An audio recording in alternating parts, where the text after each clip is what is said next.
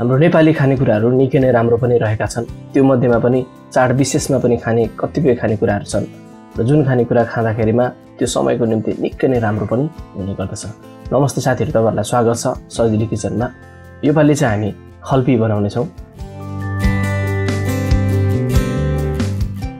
जुन काँक्रोको पाकेको खल्पी अचार चाहिँ निकै नै स्वास्थ्यको निम्ति राम्रो रहेको हुन्छ र खल्पी सम्बन्धित धेरै कुराहरू आज तपाईँहरूको बिचमा म बाँड्नेछु भिडियोसँग रहिरहनु होला जसको लागि चाहिँ यो लोकल काँक्रो रहेको छ यो काँक्रो चाहिँ राम्ररी पाकेको छ। खल्पीको अचार चाहिँ पाकेको काँक्रोबाट नै तयार गर्ने गरिन्छ। मैले यसरी काँक्रोलाई सफा गरेर लिइसकेको छु। अब त सुरुमा यसलाई हामी काट्नुपर्छ। यसरी पहिला त दुवै भागलाई छेउछेउको भागलाई काटेर फ्याँकिदिनुपर्छ। त्यसपछि यसलाई मैले दुई भागमा विभाजित गरेँ। अब यो काँक्रोलाई चाहिँ पहिला त चिरा पार्नुपर्छ। धेरै सानसानो चिरा पनि हामी यसलाई बनाउँदैनौँ।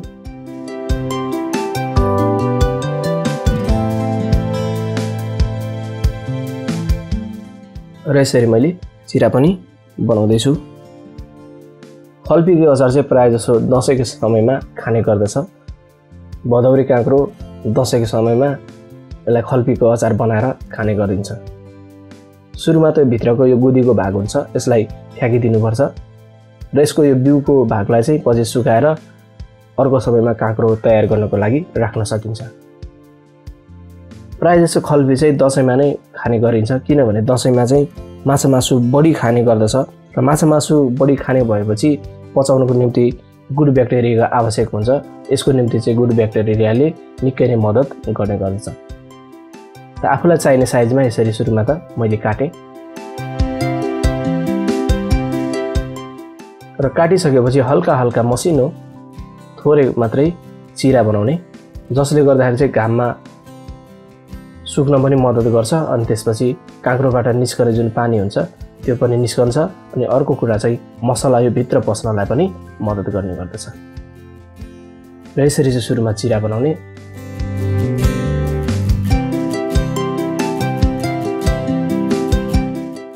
यतिको मात्रामा काँक्रो चाहिँ हाम्रो चिरा पनि बनाएर तयार भएको छ। अब यसलाई चाहिँ घाममा सुकाउने। मैले चाहिँ यसलाई नाङ्लोमा यसरी सुकाउन खोजेको छु। लगभग लगभग दुई घाम जति यसलाई सुकाइयो भने हाम्रो अचार चाहिँ बनाउनको निम्ति यो काँक्रो तयार हुन्छ। राम्ररी यसलाई सुरुमा त फिजाइदिनुपर्छ।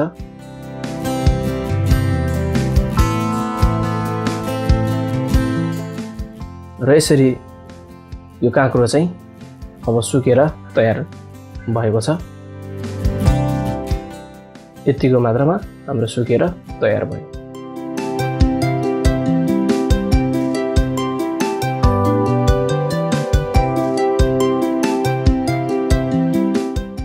प्रायः जसो चाहिँ खल्पीको अचारमा तेलको प्रयोग गर्ने गरिन्छ। अलि राम्ररी तेल प्रयोग पनि गर्नुपर्छ।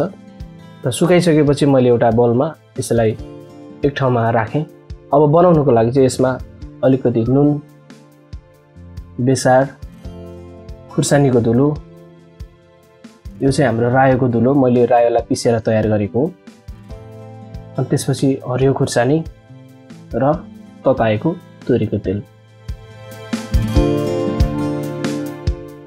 अब सबै सामग्रीहरूलाई यसरी सुरुमा त राम्ररी मिक्स गरिदिनुपर्छ। तोरीको तेल यसमा अलिकति बढी नै प्रयोग हुने गर्दछ। तेलको प्रयोगले चाहिँ हावा छिर्न दिँदैन अनि त्यसपछि हावा यदि यो अचारमा पसेन भने अचारको आयु पनि धेरै लामो हुने गर्दछ अनि ढुसी लाग्नबाट पनि बच्न सकिन्छ।